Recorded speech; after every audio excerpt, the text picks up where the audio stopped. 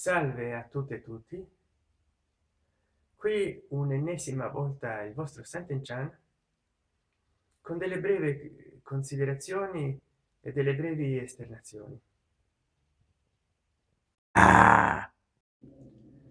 quelli di youtube mi consigliano sempre di fare degli stacchi e di mettere dei tagli quindi ogni tanto delle scene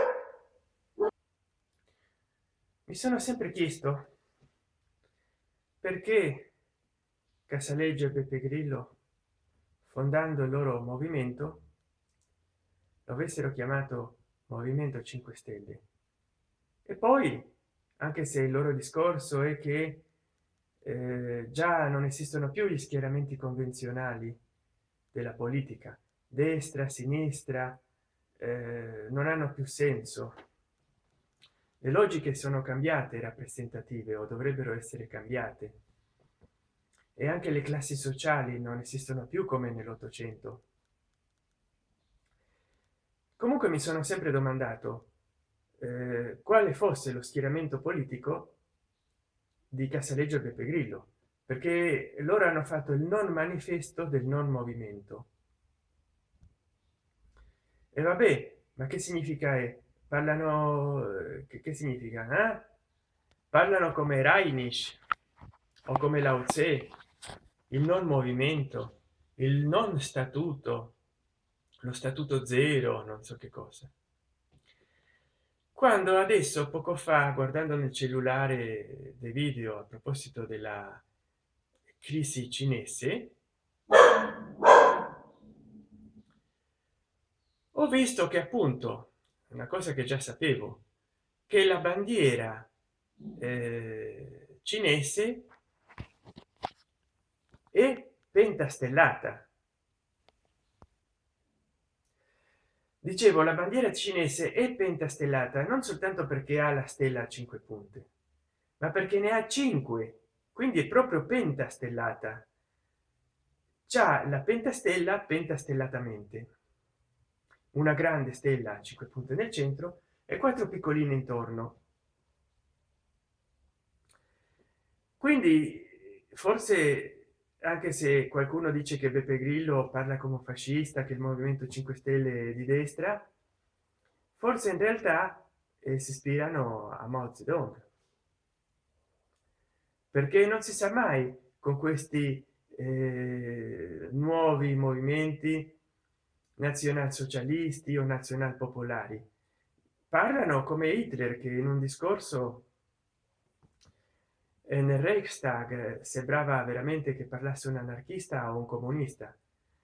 Ecco perché Beppe Grillo tempo fa ha detto io sono andato oltre Hitler.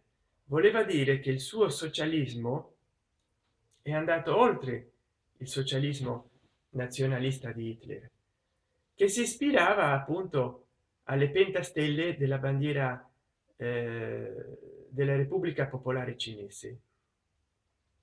D'altra parte anche la repressione in Cina è molto dura, hanno schiavi che lavorano nell'industria e quindi non hanno nulla a che invidiare a un socialismo nazionalista di Hitler oppure a un socialismo nazionalista di Stalin.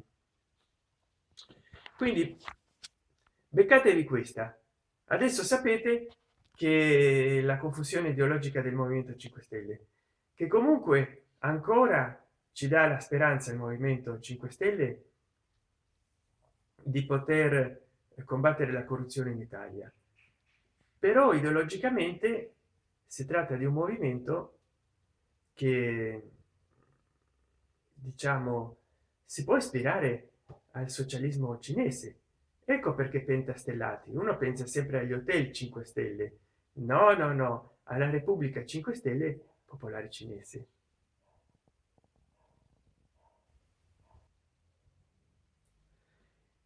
in cina da, già da decenni hanno denunciato la totale distruzione di quartieri molto antichi. È un po come se in italia distruggessimo i borghi antichi delle nostre città. Per costruire edifici eh, ville anche eh, palazzi. Abbiamo criticato berlusconi quando ha fatto milano 2 milano 3 chissà dove sarà arrivato. Beh in cina è stato peggio.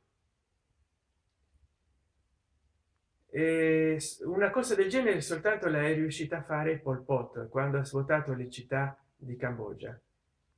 Quindi il comunismo c'è in comune che svuota le città l'unica differenza fra i cinesi di questi ultimi 20 30 anni e pol pot è che pol pot ha svuotato le città che già erano abitate per portarvi la gente al campo e poi farla vivere di stenti invece i cinesi comunisti di adesso eh, hanno creato delle città nuove perché pensavano che così la gente non avrebbe più vissuto di stenti invece poi la speculazione edilizia cinese comunista che è capitalista ha rincarato il prezzo delle case e adesso si stanno rovinando abbandonate gli edifici le case perché nessuno le può comprare.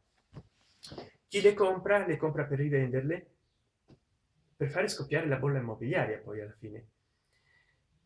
E non le compra per abitarci ma perché il prezzo aumentava e quindi dicevano vabbè il prossimo anno aumentano le, gli edifici del doppio li compro adesso li vendo fra due o tre anni. Invece poi alla fine è scoppiata la bolla immobiliaria chi li ha comprato per ultimo si è fottuto. Però il risultato è sempre stato quello che come nella cambogia di pol pot che lui aveva rinominato repubblica popolare di campocea e la cina attuale comunista ibrido fra comunismo e capitalismo che poi è sempre stato così il comunismo cinese al contrario di quello russo creato città nuove per rimanere abbandonate e quindi è una contraddizione ancora più grande di quella ottenuta da Pol Pot.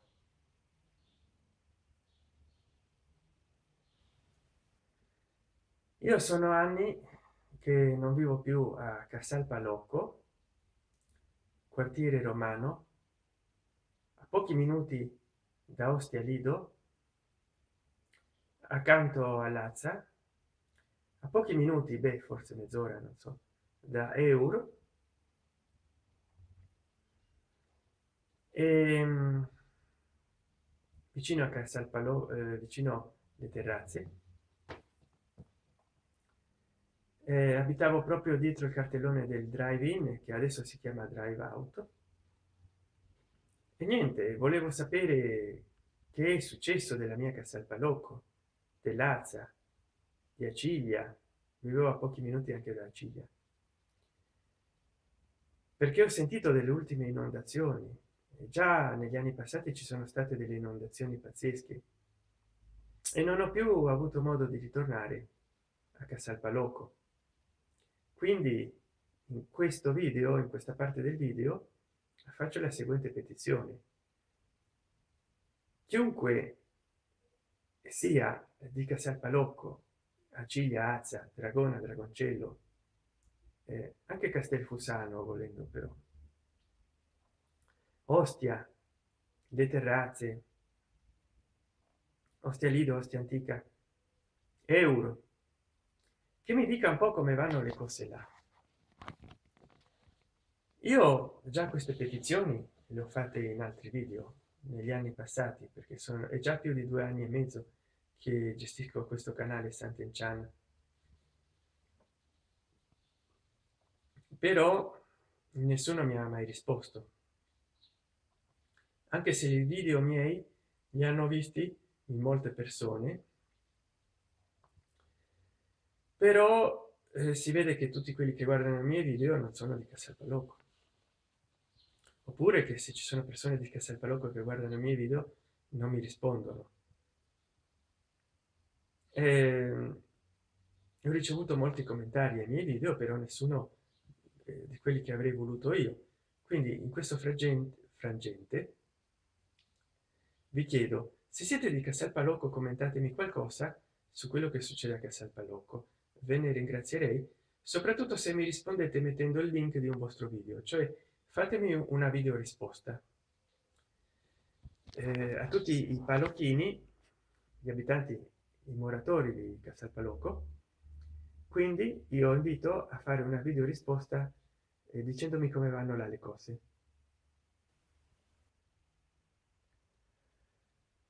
Continuo a vedere un mucchio di video in youtube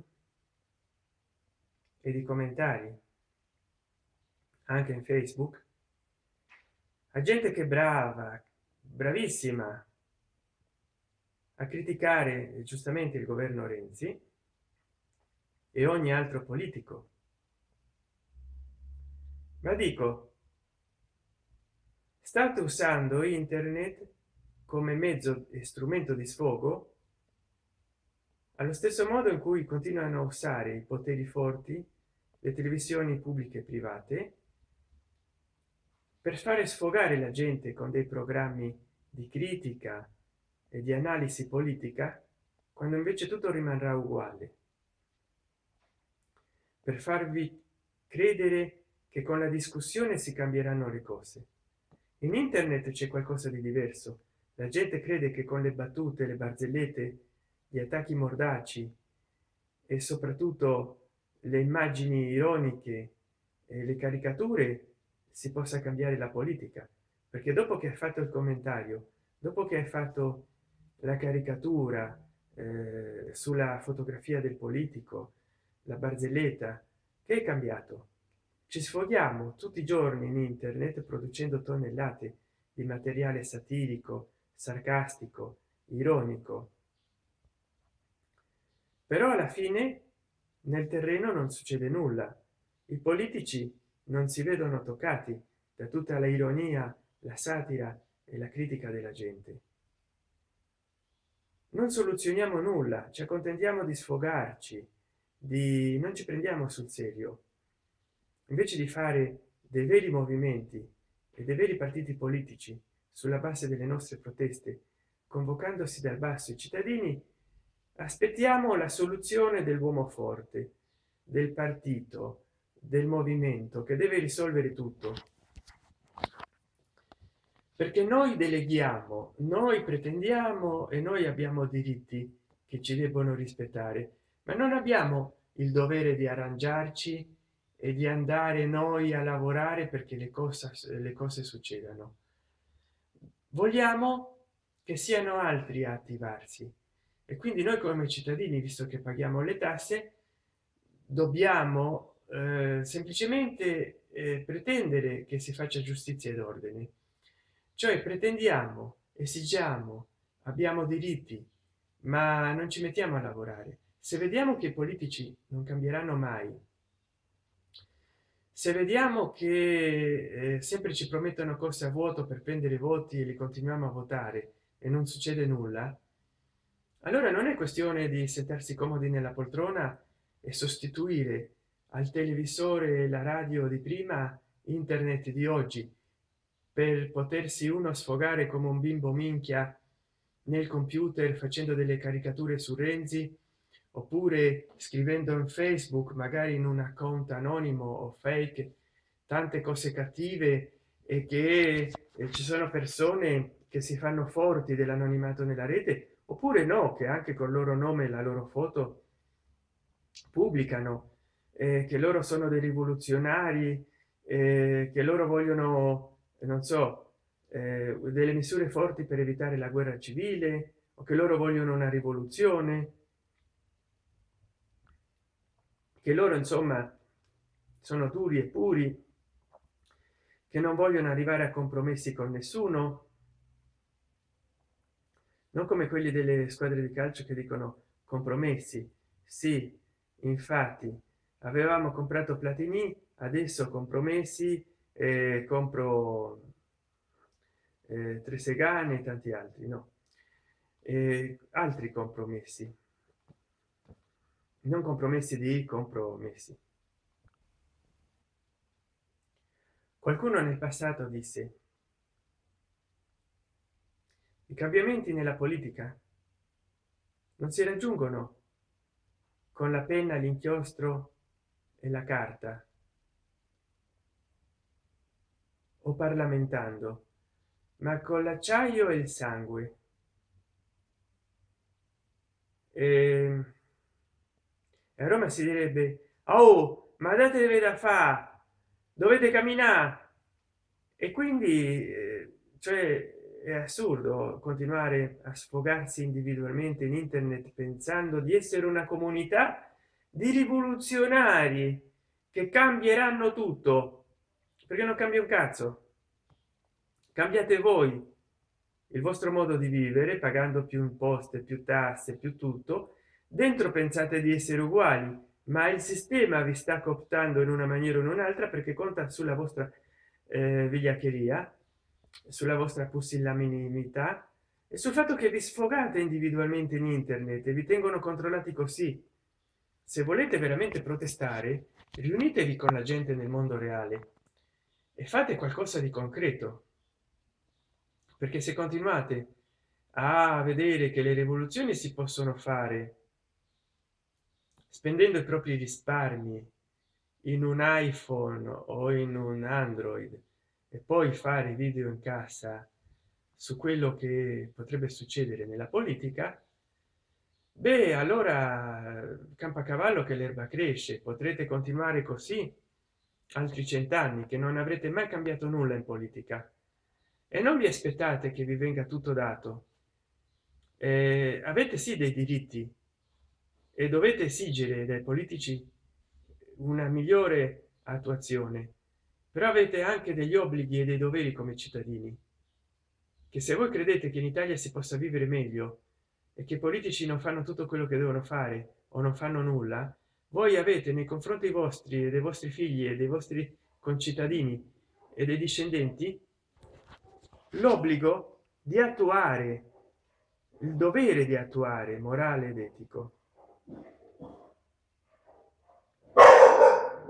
Quindi queste sono state alcune delle considerazioni che mi sono venute in mente e che ho voluto condividere con tutte e tutti voi. Per il momento vi lascio per non fare un video troppo pesante quindi grazie di avermi seguito fin qui. Io sono il vostro Chan. Ed a presto. Al prossimo video. Ciao. Grazie di seguirmi e di darmi dei like e dei buoni commentari. Spero di non deludervi mai. Eh, già sono 153.000 visioni del canale credo. Grazie a tutte e tutti. Ed alla prossima. Ciao